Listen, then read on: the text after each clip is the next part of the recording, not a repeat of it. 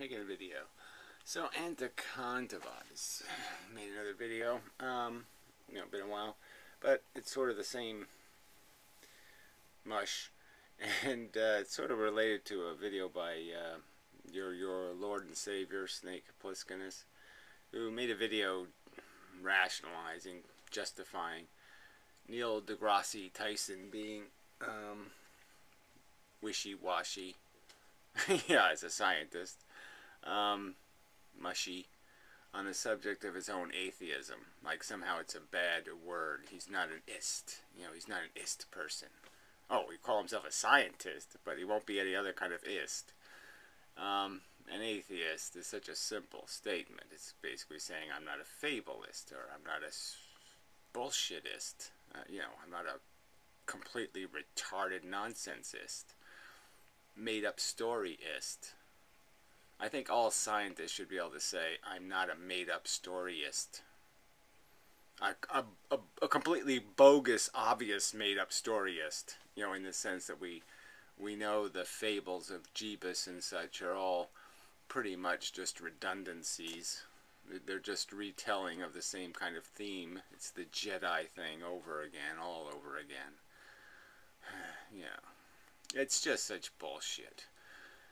And, uh, yeah, so it's just real pussy nonsense for a scientist um, to run away from the word atheist, which is almost saying nothing. I mean, it's just basically saying, I'm not an asshole.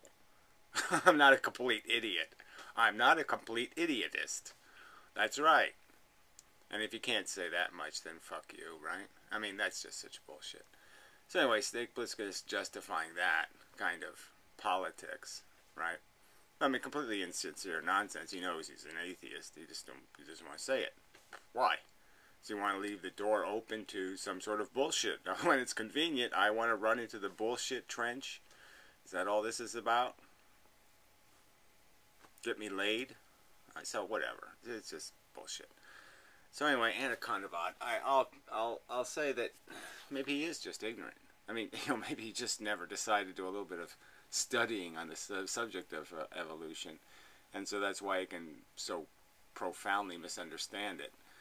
Um, well, anyway, so he started a video on love. You know, stupid title.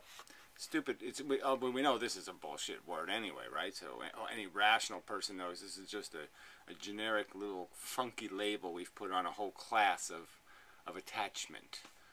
Um, but we know it doesn't. You're not saying anything when you say oh, I love something because what you really say could be saying is I own that bitch. Um, you know, she makes me feel important.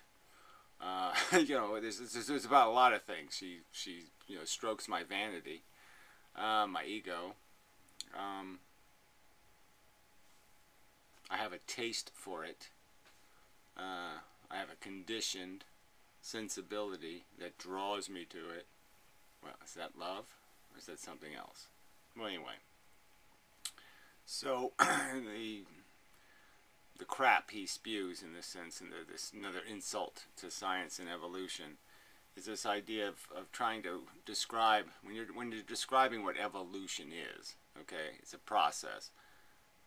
You you have to sort of anthropomorphize it to to make the conversation conversational. You, end up saying things are made by evolution, and yeah, it's not a deliberate making. It's not like evolution sits there and decides, oh, I'm going to form it this way. We know it's just a, a matter of um, circumstance, preordained circumstance, inevitable circumstance, but circumstance, that the conditions will facilitate the acquisition of tools. And that's all we are. We're, we're a package of tools in a game of survival. And it's basically the first one to the three minute mile gets all the fame, gets all the money. you know, mean, if you're not trying to run faster than three minute mile, then you're not gonna you're not gonna be in the game. Well, four minute. Let's be realistic. Um, so so you're not gonna win unless you happen, okay, by this environmental chance thing, it's it's like you could be running in the war and you're fighting some adversary and you don't realize that it's 5,000 to 500 or something and you're going to get slaughtered and you happen to trip on a branch and fall down. Yeah, you survived because you tripped on a branch and fell down. But the truth is you have to do certain things. Certain things will have to be done for you to survive. And so you could ask, well, you know, he's asking the question, why do we love? And he's he's, he's implying that evolution doesn't explain it. Of course it does. I mean, it's a social mechanism, attachment. That's what it's there for. Uh, desire, lust, we know what that's for. Okay, we, we know that penis has to go into vagina uh, to make the reproduction happen, and we know that's a fundamental part of the competition. You're in a competition to reproduce. And for um, complex niche animals, animals living in niche, weird environments, that activity isn't just about creating, laying a zillion eggs. Number one, they can't because they're too complex. You can't just make complexity that way. Um, but yeah, the evolutionary mechanism doesn't provide opportunity for that kind of reproduction. The, the winners of the game, the ancestors, that succeeded played a subtler game, um, you know, a more sophisticated game of not creating a massive amount of eggs. They protected the eggs they had. So there was different strategies that would get you to the same end. You could lay so many eggs that nobody could eat them all, or, okay, you could lay just a few eggs and protect them. And yeah, so we're doing the protected egg thing. Um, that's why the eggs are back inside the woman um, instead of laid, you know, to incubate because they're protected there. And um, so anyway, we know that this whole love thing and attachment and all that kind of stuff is built, basically just built out of this idea that you become a, a gang, that there's strength in numbers, a fact, and that you'll like more likely to win if you have a gang in this competition. It's just the truth. You know, in the niche you're trying to uh, survive in. That's just it. You know, you're competing with other things that are eating what you eat and have access to what you have access to. You're not competing with turtles or something um, in, in any substantial way. But the truth is you're going to have to acquire tools that are going to be advantageous to that competition. You could ask, instead of asking why is there love, you could ask why is there a tail on a monkey? And there's going to be an explanation. Why do kangaroos hop? Well, because the truth is, the ones that did won. That was that, that gave you a competitive advantage. You were now more capable of avoiding the predators. You win. The ones who did it win. It wasn't like nature sat there and said, here's the blueprint, start hopping. It's just that hopping won. It was a better tool in the environment the thing was competing in. And it was whoever got there first wins. That's evolution. Now, you want to deny evolution? Go ahead and deny evolution. I can't stop you. But don't say that you're doing anything rational or reasonable or fair. You're just perverting what is some of the hardest science we know. This is hard science. This isn't mushy science. This isn't quantum, you know, blah, blah, blah, eraser or something. This is real hard science and you're just thumbing your nose at it because you want to, because it's convenient to some construct you have that you wish to um, sell um, as a strategy. the strategy of idiocracy. Uh, yeah, idiocracy is probably going to win because smart it doesn't have an advantage, but smart leads you into um, uh, a, kind of it, it's too it's so constraining that it takes away all these motivations and all these shortcuts to success. It won't allow you to eat somebody else's brain to win. Uh, you know, smart creates rules, and rules aren't the game nature's playing. Nature doesn't care about right and wrong or efficiency. It just cares about winning and losing. That's why praying mantises don't inject their prey with an anesthetic. Because nature doesn't give a fuck. okay, it doesn't care about how many organisms it tortures. Torture is not an irrelevancy. That's just the truth of it. So there's huge inefficiencies. And, um, but anyway, it's just such a, you know, it's just so, so obnoxious to pretend like I'm having a rational conversation on the internet. Um, and I'm being, I'm being misunderstood. What's, what's to misunderstand? You're obviously obnoxious to scientific fact. And you make these declarations that it doesn't exist. It's, I don't believe that. Well, you don't believe it, why? Is it spelled out by every piece of evidence human beings have ever collected? Love is just a tool. Your emotions are all tools. They're just things that make you more capable of forming gangs and winning. Period. It wouldn't exist if it didn't do that. That's it. didn't come any, from anywhere else. It doesn't exist for any other reason. It's a weapon in a survival game. Period. Anyway, so let's play. I will just play some pieces of it and just mush through it and get done. But um, when I'm talking about things that are somewhat personal and I guess even slightly esoteric, I guess. I yeah. See, but the point is, you don't talk to you don't talk about them in those terms. You know, you don't say, "Well, this is a personal delusion I live by because it makes me happy, or comfortable, or makes me feel magical. I feel like a Jedi. You know, I even wear my Jedi clothes every now and then because I feel all special and thinky and powerful. It makes me feel cool.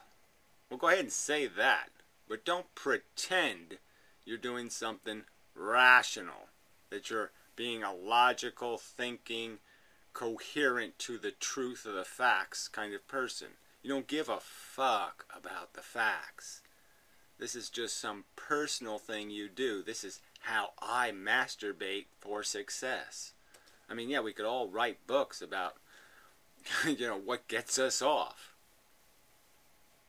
Nothing wrong with that but just put it in the right category. Don't put your don't put your fiction in the non-fiction section in the library. Don't quite cram your fantasy book into the fucking fact book.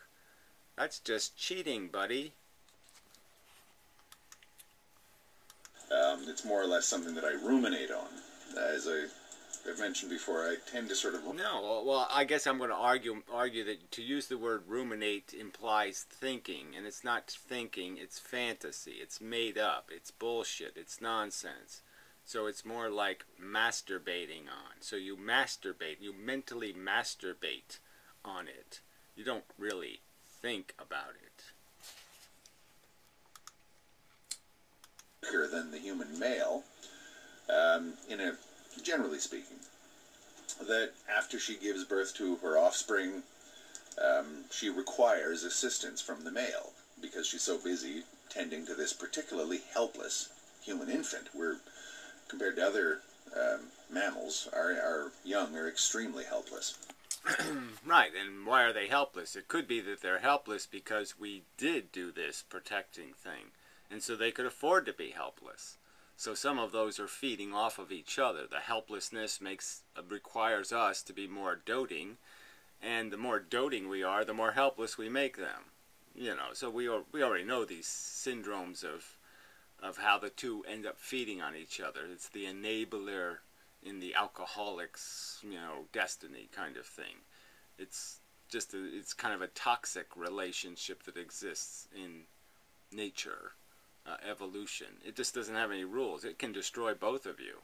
It will evolve you into a niche where you will just be suffocated, like the dodo bird, or we could we can find a, a long list of animals who lived millions of years, even hundreds of millions of years, and then went extinct because they became too fucking silly. The eccentricities built into them became too silly.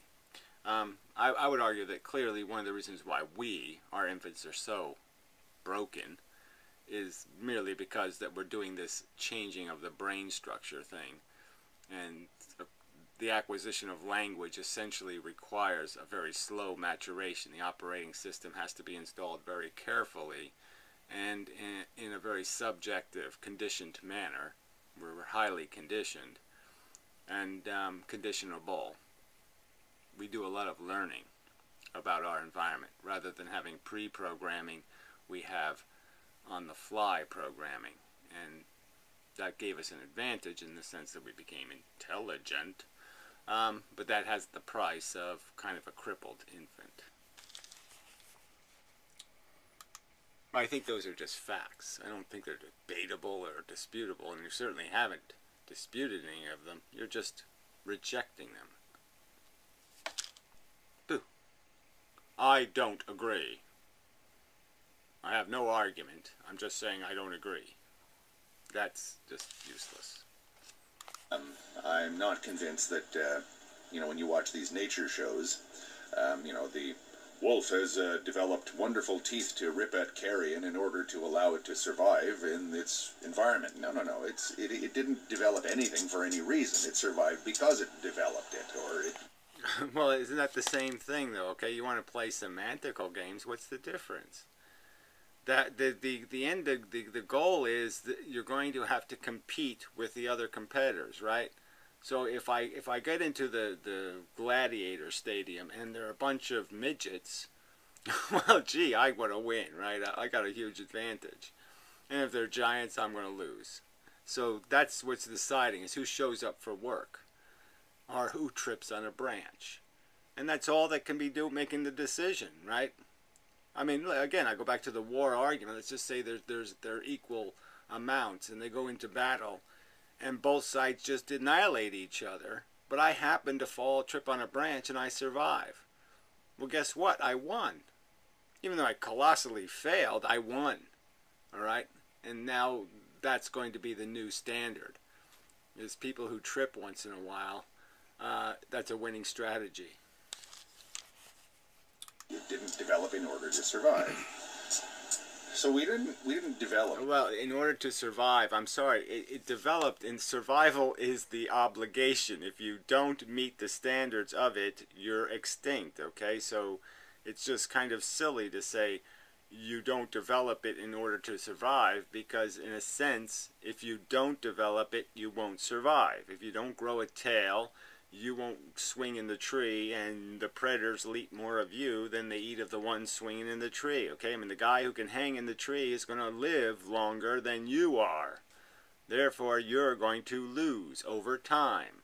And therefore his genetics will go into the future and yours won't. It's just a fact. It doesn't really matter how you describe the force that makes the making will happen and it's happening through obligation. The standard is, you know, the standard's the standard. Um, and yes, it's a pendulum swinging, it's mechanical, but we're mechanical. as much as you'd like to think we're something else, well, you're not. Love in order to maintain our viability as a species. Um, that's I don't believe that's how speciesness works. I don't believe. Okay, so here, I mean, he's basically saying that love or our emotions are not tools we acquired in the battle for survival, and that's the reason why they exist. Is because they gave you uh, uh, uh, an advantage. So he's basically denying the fact that becoming gangs gave you power genetically. Of course it did. And what binds gangs? Love. Duh, this isn't complicated at all. Now jump ahead. Yes, as a choice, um, although tell a adolescent that the incredible burning passions they're feeling are a choice, and um, but I think that it's you know we, we do have the option of loving or hating. I think that it's there's a great deal of our Okay, you think it based on what? You just explained how that's kind of preposterous. No one's going to believe that. That every adolescent knows that there's there's no I have a choice to to to, to you know love uh, to be attracted to or to be repulsed by. That I have a choice of some kind. No, it's like saying I have a choice to find it fun to eat smelly carrion. What? I don't have any choice. It's, it's repugnant to his face. There's no choice involved. There's no there's no mental delusion. There's no mental thought that's going to take away the repugnant smell. I have a choice to beat up a lion? No, I'm gonna have a choice to get eaten by one. I mean, this is silly. Silly. It's like faith. Um, I'm not into faith at all. right. So it's call he's calling evolution faith. So he's calling the idea that you understand that there's this this forced um, play game, and that these molecules fly into the arena, and that there's this idea that the ones that the ones there's there's going to be some that survive and some that don't survive into a future, and they're going to survive because they did certain things. And to do certain things, they have to have certain physical ability. They have to have a certain physical structure. They can't do those things otherwise. He says that's religion. Faith. There isn't evidence demonstrating that's exactly what's been going on on planet Earth for four billion years. um, but love does seem to exist, but what is it in terms of our own well first again i'm just going to say it's a stupid four letter fucking word I mean, one of the worst four letter words. I mean, it's a four letter word. It's a word describing nothing. It's describing a whole class of emotional responses love of mummy um, and love of uh, hooker. These are not the same things. Nature, our own will, our own existence. Um, we know what pain is. We know what suffering is. We know what excitement is. We know what these are all reflexive reactions to circumstances, and depending on how you reflexive react, will indicate whether you survive. So if you're not, if you don't jump back when you see the snake, well then you're likely to get, it's too late now, asshole. So yeah, some reflexes have to be fast and hard. Because if you don't do what you, if you don't overreact most of the time, the fact is you're not going to react fast enough some of the time, and you're going to end up out of the game. The game requires you never to underreact to certain circumstances. The bear is charging. Or, you know, you don't have the option of underreacting. Because underreacting is going to get you killed. All kinds of other things are. What is love? Um, I mean, really. It just you, you can't see how it's just silly to have a conversation about an undescribed, ambiguous pile of nothing. I mean, it says nothing. What is book? I mean, it's just stupid.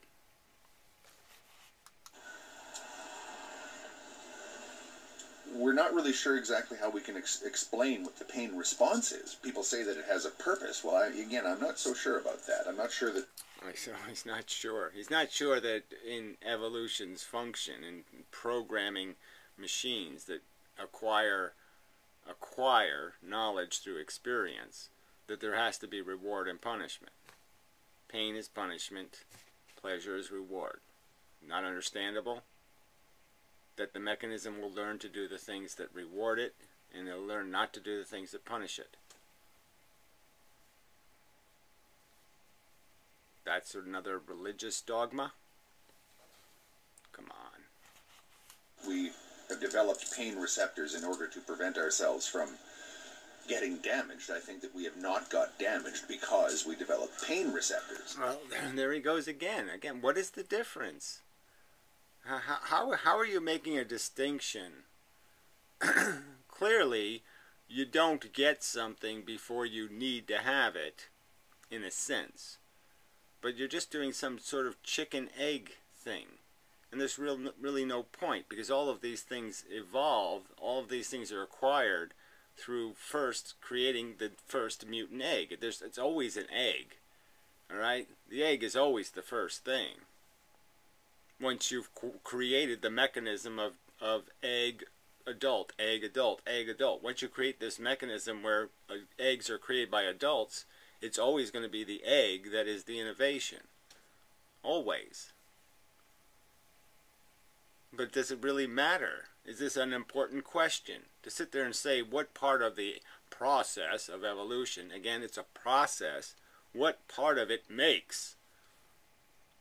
Is the obligation making the thing have, or is the thing having and therefore satisfying the now existing obligation?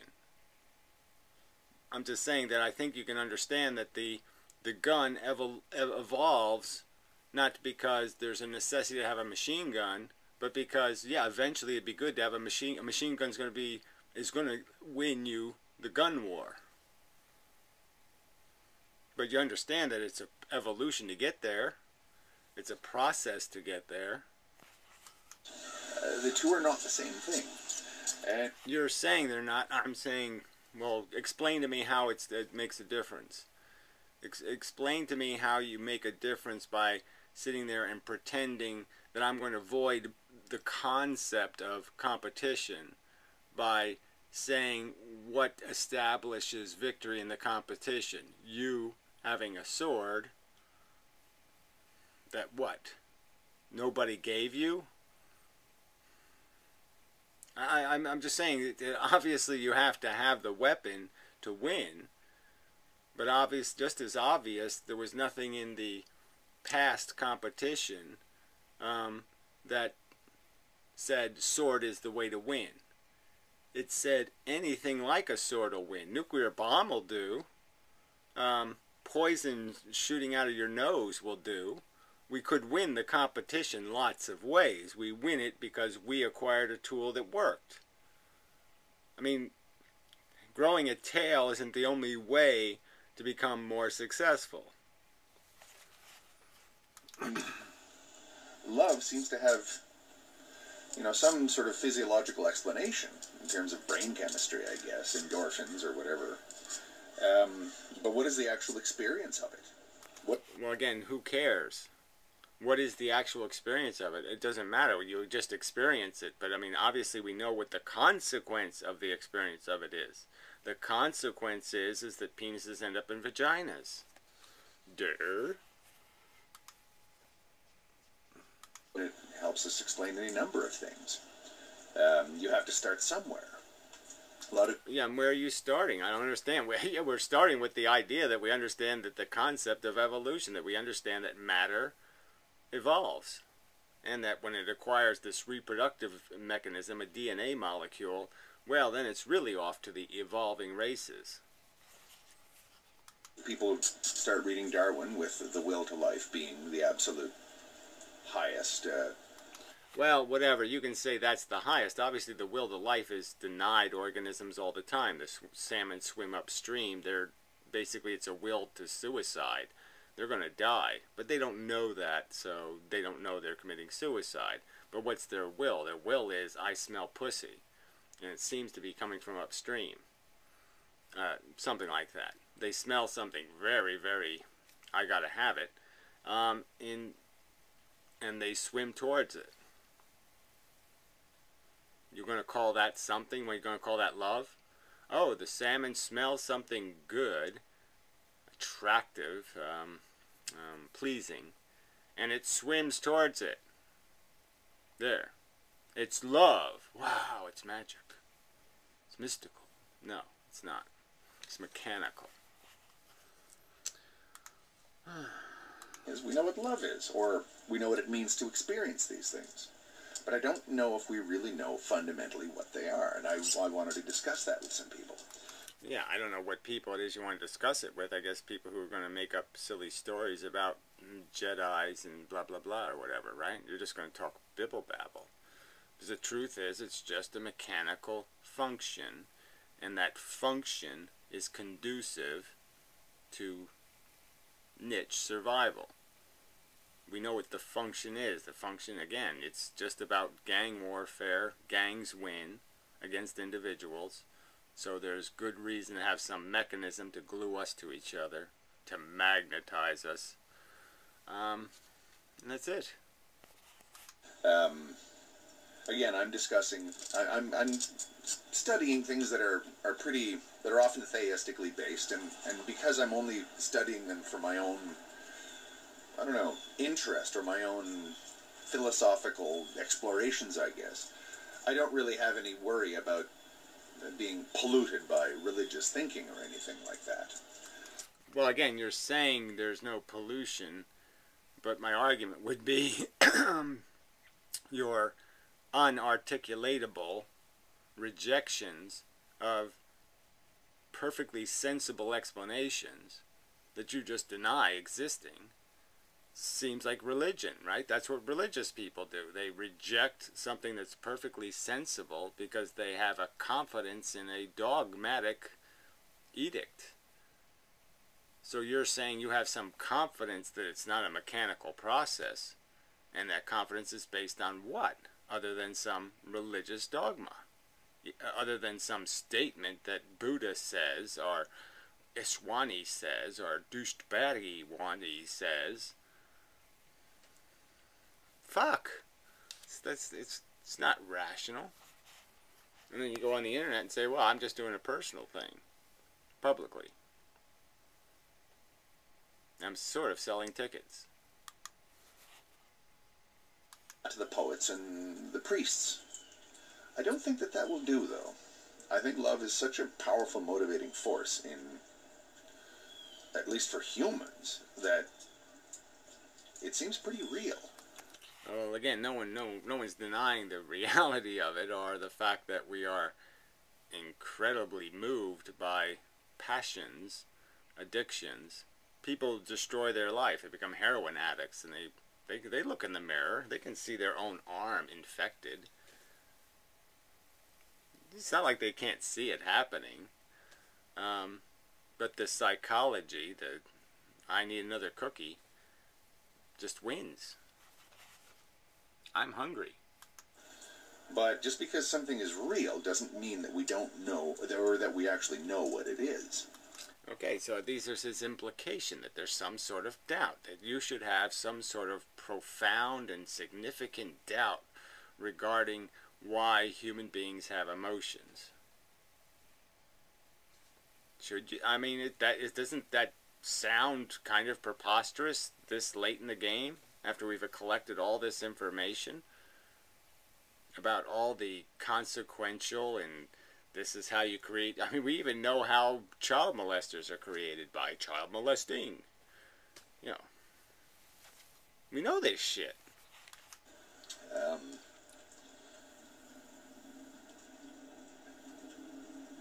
and even if it has a purpose I'd be interested in, in hearing people's opinions on what purpose it could possibly serve, at least in what larger context.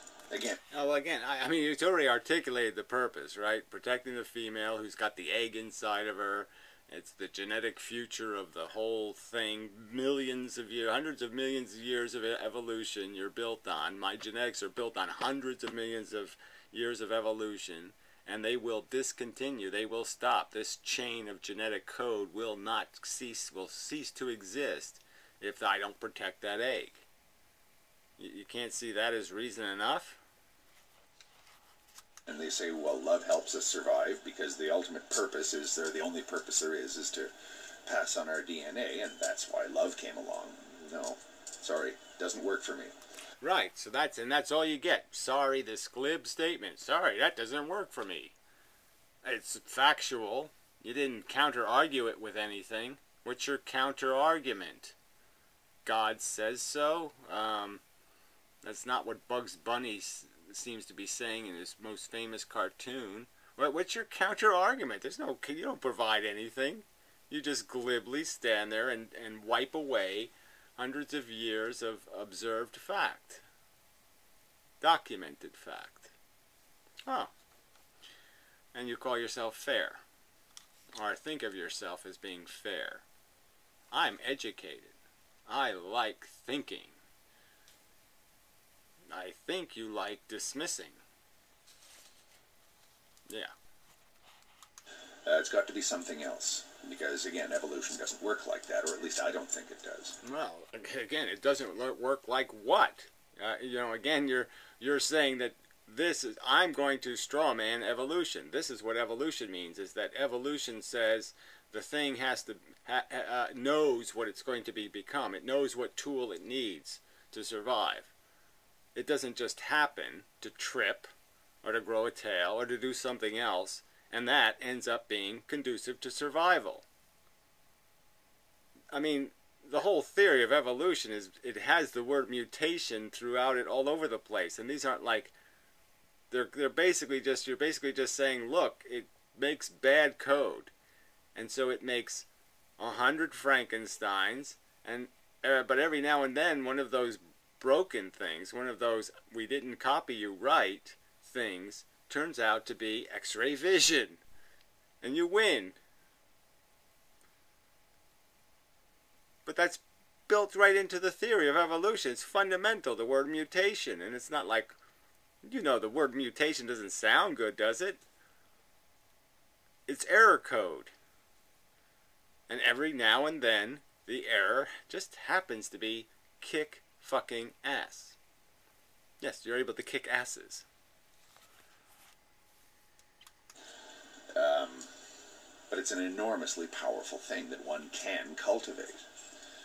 All right, one can cultivate. One who is a program device can cultivate a program.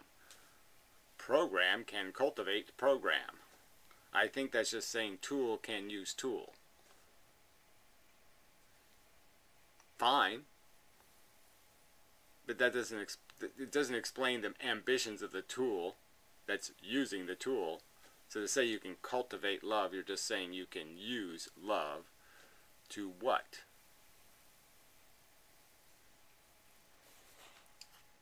Um, the Hindus have this uh, technique called bhakti, where you simply pour love into your chosen deity. Yeah, yeah, well, whatever. That seems quite irrelevant as a counter argument to evolution. I'll ignore that. Religion. But you don't want to limit yourself to your intellect. We have the capacity to love and to hate as human beings. Um, if we bring love into our, what do you call it? Yeah, right. You have the capacity to speed or go too slow. Now, going too fast or going too slow on the highway, both of those might absolutely suck. And the thing to do is to go this just the right speed. And you know, so this love hate thing, like they're they're both tools. I mean, you need hate to be able to do things that might necessitate complete sacrifice of your best interest, your personal interest. I mean, hate is a powerful is a powerful tool in the right circumstance. I mean, if you're the giants coming at you, it's best that you're not sympathetic. Because he's not going to be sympathetic. He's going to smite you otherwise. If you want to survive, you might need some hate to create that survival opportunity. Um, but again, both of them are just emotions. Emotions motivate. So you're just saying, well, what, what, how should, you know, well, I mean, there's no point in arguing it. But much as much, many of these emotions, you're not going to have that much liberality. You're not going to be able to make it beautiful or make it ugly. You're not going to be able to make it smell good or make it smell bad. You're not going to be able to make it warm or make it cold. Just isn't going to happen. Philosophical pursuits or extra intellectual mental pursuits, it does seem to change things. Um, and it can actually, I think, be an actual discipline that one cultivates. well, I don't think you can cultivate. I think you can get, you can evade it.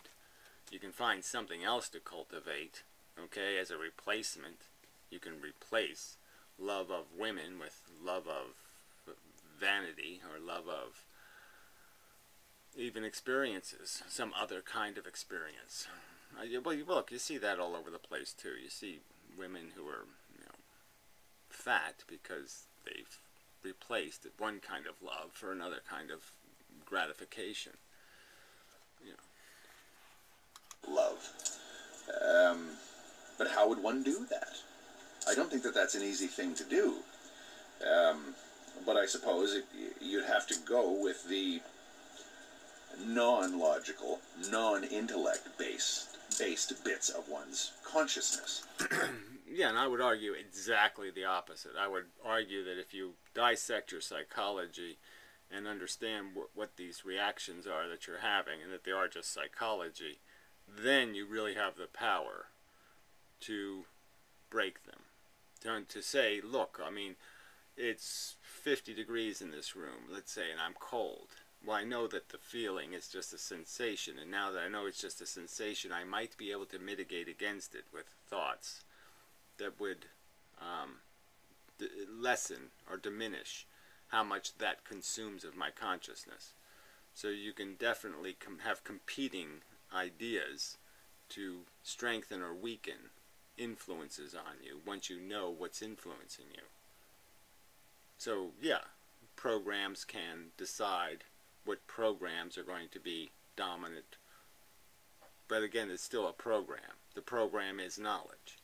So I'm saying it's knowledge that will set you free of control by passion or control by um, crude conditioning. That knowledge will give you power over that conditioning. Once you know the conditioning is bullshit, then you have the power to minimize its influence. But knowledge does that. Again, art, poetry, music, um, all that. I, all that crap will just get you lost. You'll, it's a vortex that you'll just get sucked into. You won't win in the end. I don't think. Sort of thing springs to mind.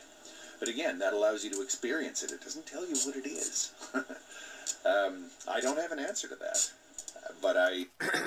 well, yeah, but the argument is you're saying no, no one has an answer to that, and I think the scientific answer is perfectly valid. I think the rational Darwinian understanding that we have these feelings and sensations because they were conducive to our kind surviving in its history is just pretty rock solid. I'm fascinated in that uh, uh, in that entire subject of late. Um, I haven't abandoned YouTube, but uh, as I say, I've kind of gone off the grid here. But simply because the the type of ruminations I've been engaging in are kind of not the sort of thing that I are really of any use when you're discussing on the internet, or you know, are really. Uh, I just another dodge, but fine. Yeah, you just basically can't come up with words to make this sound like anything other than what you're claiming it isn't, which is just dogma, religious fantasy. I want to have a special super life. I want it to be special super meaning. And no, it's not any of that shit. Like the salmon, you're swimming upstream, and yeah, while you're doing it, you're having a good time. But is it really something worth doing over and over and over and over again? Yeah, maybe not it's not the sort of thing that internet discussions are any use in exploring. Well, again, says you. I just, I don't, oh yeah, I, that, that doesn't even, I don't even know what that means. I mean, realistically. What? I mean, do I have to stroke, like, close your eyes, like, we'll close your eyes and you can stroke my earlobe or something. Ooh, you get me? Uh, you understand what I'm talking about? Uh, what? Words books are full of words conveying understanding, conveying a perspective. I mean, this whole dismissal isn't based on YouTube's failure or the medium's failure or words failure. It's your failure because you won't follow the rules of logic. You won't even accept the, the fact that you've posted a title to a video that is just such an ambiguous, mushy, almost silly word. And that you have to do a lot better. You have to describe what you're talking about. The mechanism that attaches us to family, the mechanism that attaches us to race, the mechanism that attaches us in a lot of different ways. These are all things that attach us. To call them love, to put them all in the same stupid bucket, I think is kind of retarded. Something a simpleton would do. Anyway. Yeah. No, enough of a video. So, till next time.